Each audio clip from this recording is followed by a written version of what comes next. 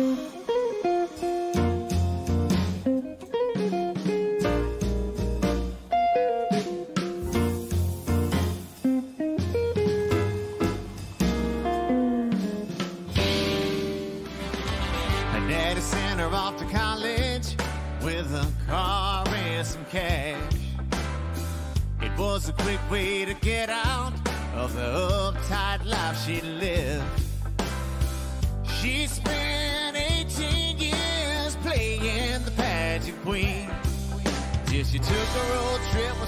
Sorority friends down to Manchester, Tennessee. She's a body rockin' Bonnaroo, baby, hands up in the air. You are watching the performance of a rising star in country music, and if you don't know his music or his face, remember his name, because you'll be hearing it again. We welcome today Mississippi native Derek Norsworthy. He's the holder of the title of Mississippi's 2018 Songwriter of the Year. Derek, man, it's good to meet you. Great to meet you, Marshall. It's a, a pleasure to be here today and, Yeah. and, and to be in Mississippi and, and, and speaking with you. So uh, Yeah. glad to be here. Yeah, we we got a lot of good stuff to talk about. I, I we have a mutual friend that put me onto you a couple years ago. It was um, it, it was raised by the radio. That was that song that Yeah. he, he sent me an MP3 of, and he said, "This guy, you're going to have to watch this guy. He's really going to be great." So, congratulations. Thank you. Yeah, the, the songwriter of the year. That that was a pretty neat process, wasn't it? That was uh, it was a life changing thing for me, Yeah. and uh, and I you know I always give a lot of credit to uh, Johnny Boswell and Boswell Media Yeah. out of uh, out of Kosciusko, Mississippi, and uh, they it truly changed my life. Um, you know I'd been you know playing music and doing a lot of things in music, um, and it changed my life in ways beyond music. I got Yeah. to go to Muscle Shoals, Alabama for the Oh first yeah, time it's like going yeah the mecca and, of and, music. and when they drip you down in that culture there and, do those things, I got to take my dad with me, and, and he was an old musician, and we went to, you know, Muscle Shoals Sound, and we went to Fame Studios, but we got like the, you know, like these these tours from the people who'd worked there and been there Oh, wow. forever, and uh, you know, so it just goes back to show you how you know there's people in Mississippi that are being fruitful that are cultivating the state. So I give a lot of thanks to the Boswell family for that, and uh, you know just uh, it was a, a blessing to me to to you know to to work, to have the title. yeah, the Boswell family are they're great folks. How did that process work? Um, essentially, you submit your songs, Mm-hmm. uh, you know, to them, and then they go through a process of where they actually. Um, it's not just them who does the the process of elimination or choosing, uh, but they actually submit it to a panel of like hit songwriters and um, and people who have you know had great success in music, and um, Billy Lawson being one of them who's wrote like and he's just had this amazing songwriting career and um, but they they send it to them and they get feedback on it and then ultimately they come back and you know kind of you know look through that but they meet with them and it's actually a very refined and professional process that they've got going there um, so to get that title and then once I found out what the judging and who the judges Yeah. were I was you know I was made you even a little bit more proud. yeah I was, I was very you know very very blessed to have that Where are you from? Escatawpa Mississippi That's uh, the metropolis that's right north of Pascagoula, right? Yeah, yeah, it's it's a large metropolis. Yeah. Uh, we got a, a few high rises in there, um, Like a AKA water tower. Water tower. Exactly. You're stealing all my jokes No, already. sorry, man. but that said, there was another little band that came from there too, Three Doors Down. Yeah, yeah. Three Doors Down Yeah. came from there, and uh, you know, I, I'll we'll talk about it later. But that wasn't my first inspiration for music, but it sure Yeah. was a nice. Doesn't hurt. It, it doesn't hurt um, when you're you know that kid in, in, in sixth grade and the band from you know Compass Bluff, uh, you know, gets the record deal and's on the radio. So. Um, you know, I always give a lot of thanks to you know Brad and all those guys for just uh, you know anybody who who uh, prevails or or you know experiences success in you know any form of art um, you know hats off to them and, and those guys you know they did it You got to figure there's probably a six or a seven or an eight year old that's watching you. yeah absolutely and and I think back to that because you don't always know you know you can say I want to be a fireman or I want to be Yeah. a doctor or a law you don't always know that but you do know what makes your heart sing Yeah. and and what lights you up I was about six years old, and my parents took me to this Marty Stuart and Travis Tritt tour at the Mississippi Gulf Coast Coliseum. And that night um, lit a fire in me. Uh, I, I got chills. Marty Stuart opened his show with this song called Me, Hank, and Jumpin' Jack Flash. He, he followed up with a song called High on a Mountaintop, and I remember this to this day. And because it was that impactful on my life, I didn't even know Marty Stuart was from Mississippi that night. I Yeah. had no, I found that out like in you know my early twenties. Like, wow, that was you know what that's really great. Um, but that night, I don't know what it was, but that song, that moment, just kind of sparked something to me I didn't even know existed. Had no idea that songwriting and music and you know this rhythm and melody, but I knew that something in me, you know, I couldn't identify it as a six-year-old, but something in me uh, that you know there was it was ignited that night, and uh, so you know thanks to uh, uh, now that I actually know that they're from Mississippi, thanks to Mississippi for producing a Marty Stuart who inspired a Derek Norsworthy, um, you know, to go out and, and chase the uh, chase the, the dream of, of becoming a, a professional musician, songwriter, and um, you know, creator. You've gotten to open up and play with a bunch of different people. Have you ever gotten to meet either one of them? Marty, yeah, uh, have you gotten to say, yeah, just to, to be able I've to never met Marty. I've heard so many great things about Marty, and I know that Marty is doing a lot of great things for the state. Yeah. And and he is a very well respected man in Nashville and throughout the world. and a real right- connoisseur of country music and too. rightfully yeah. so. Yeah. He really cares about the heritage of country Yeah. music. I've never met Marty. Uh, I would love to meet Marty. When did you really start playing? I've, I've seen 15, 17, but you were a teenager when you really started putting together a band. I, I guess I was maybe 13. You know, my Yeah. friend had a drum set, and we were going to start a band, and, and so that's that was kind of my first thing. So we started playing around about 13. I guess about 15 to 17, it started kind of getting serious. We're like, hey, we're going to do this, we maybe should try to get decent at it, you know. And uh, so from there, it just you know kind of progressed. you picked up the guitar and then sudden, but there wasn't a singer for the band. No, well, uh, I didn't pick up the guitar at that point. I Oh, was still, yeah, I was still hiding behind the drum kit. Okay. And uh, you know, and kind of the way that happened was all my friends who were brave enough to start this band, nobody was brave enough to sing. And and I honestly I wasn't either. I was very content hiding behind the drum kit. You know, that was a very good safe Mm-hmm. place and you're protected by you know, four or five drums and cymbals, and you know, you had sticks if somebody came at you. I mean, you're well equipped.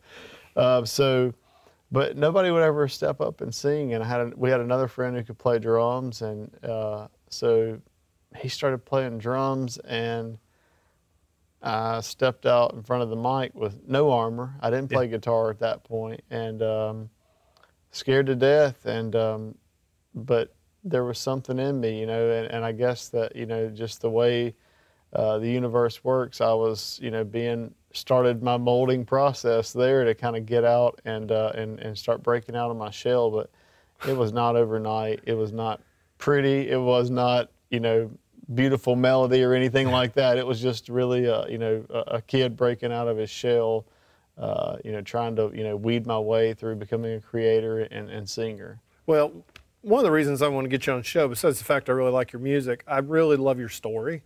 And I think it's inspiring because I think so many people, they see overnight success and don't understand that being an overnight success usually takes a couple decades of really grinding and doing your work. I mean, you were in high school, you were playing sports, you could have continued to play sports in college, but you just kept grinding because music was, was something you wanted to do. Yeah, I, you know, I had an opportunity, you know, at the end of high school to go play, you know, football or baseball in, a, in you know junior college or community college, and um, you know, just it was like a decision point. I knew I needed to get you know an education, and I wanted to, there were there's something, and I, I know you can relate, but Yeah. as a creator, once you once it's in you, it, it, it doesn't go away, and so I went to nursing school. See, this Um, is this is the really amazing part. Yeah. so my parents, they were like, "Look, we support you," and they always have. I have an amazing family, and uh, they really do. They they've been a, a backbone for me throughout Mm-hmm. all this, and they never pushed me to be a musician, but they've always supported me Yeah. in, in in whatever you know the endeavor may be. And they did ask that I got an ed, you know, they said, you, you know, we want you to get an education. And I, you know, I'm not, I was a smart kid. I needed to go to school. I didn't Yeah. need to just, you know, go, you know, not do something with that. So I went to nursing school and, um, nursing school is very demanding, time demanding. They Mhm. Yeah. crunch a lot of things. They want to teach you about this entire body and about, you know, two and a half to maybe four years, something like that. You know, you do some clinicals, but they want to get the nuts and bolts down quick. And, you know, you know, being an 18, 19 year old kid, um, you know, study for the math test, you know, uh, you know that. Mhm. But when you really have to start, you know, conceptually thinking about the body and the functions, it takes time. It takes what they call studying that Right. you'll, you know, I had to learn to do. And because you know at that point grades had just kind of came easy to me, but I would go and um, my instructors, I kind of always, always kind of kept it quiet that I was a musician because immediately when people think that oh you're a musician, they think you party, you know, you do, you drink, you're crazy, and that's not me. Like Right. you know, it, this is a music business, and like I told you this morning when I showed up, Yeah. these days, if you want to be successful in music, um, you show up with your guitar on your right and your laptop on your left because you better be able to do both. So, any, but anyways, back to the back to the topic here. Um, so what I would do is uh, I knew that you know, and if you want anything in life bad enough, uh, you'll put in the work and the time to to, to make it happen, and and that's what I did. Um, so I went to school and uh, set a schedule and a structure for studying. I also set a you know you know playing dates and touring. And so what I would do a lot of times is like overnight. I remember you know I could see it vividly uh, still, but I would go and play. And if it took me, you know, if I got through playing and I drove back and I would arrive back on campus at 3 a.m., a lot of times I would just sleep in my truck in the parking lot with the trailer, the van trailer still behind me. And because I didn't want to go back and be that lazy kid that overslept, because I didn't have to be, because I knew better than that. And uh, I would sleep in the truck and uh, get a few hours of sleep and, you know, go in and, and make sure that I was prepared to take on the day. But yeah, I mean, I, so I got an education and I never stopped with the music. And, and people used to, my instructors, they would always be like, you're not, you, you, you can't, like, you can't do both. And when somebody tells me that I can't, Do something. watch me and that's kind of always been my thing and um, and you know even people around you they start to kind of they don't they don't know you they don't know what kind of fire lives in you you know when it comes to something like a passion for you know or, or a desire to, to, to be a great musician or for me i feel like i have a responsibility and a duty to create great art Right. in the form of music so um, you know if you really want to and it lives in you and it burns in you you'll find a way You got to explain something to me though, because I tweeted out last night that I was going to get to meet you and we're going to interview you today, and um, it may have been one of the Boswells. I'm not sure, but somebody talked about f- your five years in community college, and I didn't quite get that. Yeah, well, I don't know that it was actually five years. See, now if you're a creator, you got to twist a little bit of the truth. exa- little- little- but uh, yeah, so Exaggeration. so a little exaggeration. So I wrote a song called "Community College," and Okay. it kind of talks about my little journey, um, and it's you know it, it it isn't exactly all of it, but it's kind of it kind of talks about going to you know community college and. Uh, it's kind of a, a funny song about that and the process of, of how that started. Could you and- play a minute or two of it? yeah, yeah. Yeah, okay. I- I'll um, I'll play a little bit of it, but Okay. uh, I mean, community colleges are so impactful, and, I, and then I went on to work with East Mississippi. That's right. You did the. which was kind of funny, uh, you know, after that because it was like that was you know totally my trajectory. But um, yeah, so this is called Community College, and I played it. You know, it's just one of those songs I never wrote or intended to be anything, uh, but it's kind of got a funny little thing that, about you know my story. So, and this is just very from the cuff here. Um, goes a little something like this. I had a choice to make before graduation day. Take a full ride to JC or walk on up at State. And in the swipe of a pen and the blink of an eye, I found myself a new home off Highway 49.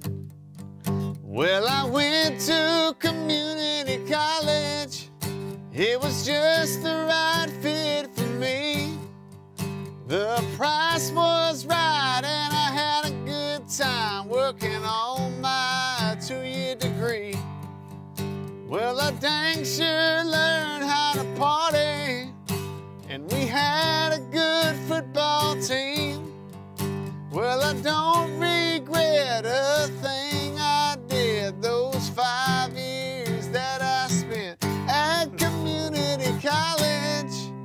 So it goes a little something like Excellent, that. yeah. But this is the cool part. It was, uh, and this is true right here. Yeah.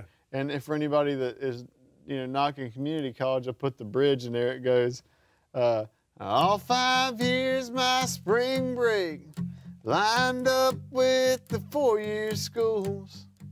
The sorority girls love to hear me sing, and I love them too. But I went to community college, so that's kind of Oh, the, yeah. the kick. Excellent. Yeah, so if you don't need a PhD right off, then uh, I would invite you to go to one of the fine community colleges right here in Mississippi. That's wonderful. That's wonderful. Well, as, as we get, unfortunately, I wish we had a little bit more time, but I do want you to tell the world who Hannah is because I think she's a very special young lady. Uh, she is a uh, she's a child with uh, with Down syndrome, Yeah. special needs, and uh, they're all my thing with with Hannah, and I'm going to write a song about it at some point. Is there is nothing down about that girl.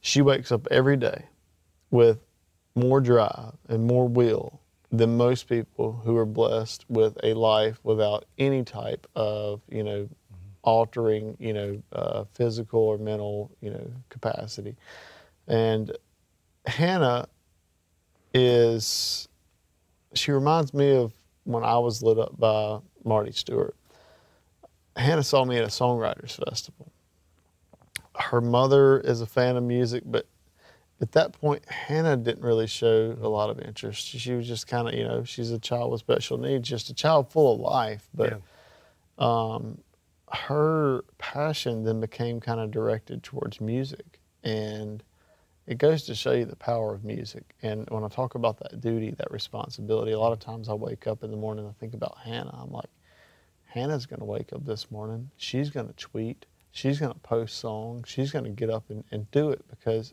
she's not lazy. She loves it. It burns in her. But Hannah is, uh, she does have uh, Down syndrome, and um, but she doesn't let that affect her, and she's truly inspiring to my life. Um, had an opportunity now to work with uh, she and her mother Donna with their group, uh, South Mississippi Special Needs. They raise a lot of awareness for uh, children with Down syndrome in the area because although they have a you know some type of you know you know whatever the case may be a condition they still passion still burns in everybody. And hannah is a prime example of that and i think it's important for people like hannah to carry that flag in that world and thankfully her mother uh, doesn't try to hide it she embraces it and, and pushes her along and um, but yeah, Hannah, you know, she you know lives and breathes for music, and she has been a huge advocate for me. And I'll, I'll tell you, this is a funny story. This is how persistent Hannah is. Hannah got the attention of Buzz Brainard and and um, Stormy Warren at Sirius XM, like, and that was at Sirius XM the Highway, which is the largest Yeah. you know country music station out there, and um, you know, and and it's those things are controlled by you know uh, Metrics and metrics and yeah, labels and yeah, you know yeah, dinners and those Right. types of things. But there's still great people working there with hearts. right. And uh, but Hannah caught their attention because they contacted her mother Hannah had contacted Sirius XM the highway 900 times Oh, wow. via Twitter Wow. over the course of what time I don't know. Yeah. But that shows the persistence. It could have been years, but she wanted she wanted to hear that music on there because that was her station, and uh, she's still. I mean, to this to this moment, my new single, she's promoting it out there, and but that goes to show the persistence and that passion lives in everybody. And I'm a huge advocate um, for for special needs children, and because I'm inspired by Hannah. People like, oh, you inspire Hannah. No, like you start looking into that child's life, and you'll get inspired. You, um, your dad, he played the, your dad played the drums. You grew up around, you know, what kind of music did you grow up around? Oh, I grew up uh, Southern stuff. Uh, Yeah. You know, I grew up on, and of course, you know, Marty Stuart and Travis Tritt, but Yeah.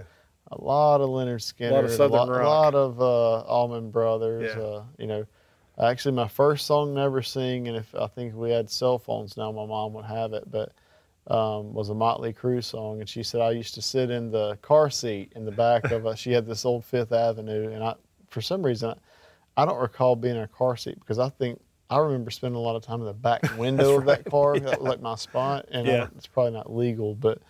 Um, she said I would sit back there and go, girls, girls, girls. So somebody was playing Motley Crue around me at some point too. So, so there was, you know, a, a lot of that, a lot of country music, and uh, just a lot of things you hear in the South. And you know, I fell in love with uh, you know country music and rock, and uh, because of the songs. Yeah. As we wrap up, I just wanted to say thank you for giving back to Mississippi too. You, you really do seem to be a really good ambassador for the state, and I know that means a lot to you what the state's given you. Yeah, and, uh, as, as we talked, you know, off the set, you know, a lot of what drives me, it's not, you know, it's not the career of Derek Norsworthy. It's that I was born and raised in the birthplace of America's music, Yeah. and again, I have a responsibility um, to give back and to keep cultivating that as a creator. And so, you know, I've done, you know, I do whatever I can to, to go into schools and do music education. I work with the Mississippi Songwriters Alliance and Mississippi Songwriters Festival, uh, you know, heavily in their educational program uh, to make sure that we're reaching out to those kids who maybe don't know where they're supposed to go, you know, or in life, but music is an outlet, and there's tons of people out there. It's a, it's an entire, you know, it's a billion dollar industry, and there's all kind of jobs in the music industry. So, and you know, I even went as far as I started a a small, you know, kind of little philanthropic group and clothing line called, you know, Rep Your Roots, and uh, we try to give back via scholarship to you know different little you know organizations, and it's very small scale, but it you know just want to make that imprint, and because it, it, it's what we it's what we're supposed to do. Because if we're not giving back, there's no reason in getting. You know, like it, you know, life doesn't work that way. You know, like so. You know, I think it's important to be fruitful, and uh, kind of one of my uh, you know my theme is grow where you grew and create great art. And uh, so that's what we do. So we spend a lot of time, you know, anytime I can be, you know, part of an education system where I can go down and sit with a, a music class and play guitar and just let let kids ask questions because they're curious and they don't know. And and I've found, you know, there's so many people out there from Mississippi who are we know a lot of them. I mean, you can go to the museums and see a lot of them, but they're um, there's so many out there, especially in Nashville, who are who have great careers, and I hear the phrase often that, yeah, Mississippi, it's a it's a good place to be from, and again, when I hear that, it, it, for me, it's like, you know, it is a good place to be from, it's a good place to keep growing because what Mississippi brings out and the art and the artists that it creates, those children are still being born. Those those youths are still being born every day, and just imagine, you know, they they they may be singing your song on the radio and have no idea you're from Mississippi. So, it's uh, you know it's paramount to make sure that creators are coming back to the state and continue to inspire the youth and, and cultivate um, you know, the rich music and, you know, art culture we have in Mississippi. Derek, thank you for taking the time today. It's been a real pleasure to get to meet you. This is great. I've, I've really enjoyed it, and uh, I thank you guys for having me on today. Oh, yeah. It's our pleasure. She wears Bob Dylan tank tops, talks about Woodstock, and loves Bobby McGee.